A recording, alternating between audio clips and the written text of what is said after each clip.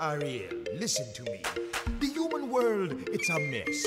Life under the sea is better than anything they got up there. The seaweed is always greener in somebody else's lake.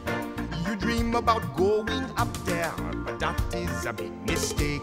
Just look at the world around you, right here on the ocean floor. Such wonderful things around you. What more did you for? Under the sea, under the sea. Darling, it's better down where it's wetter. Take it from me. Up on the shore, they work all day. Out in the sun, they slave away. While we devoting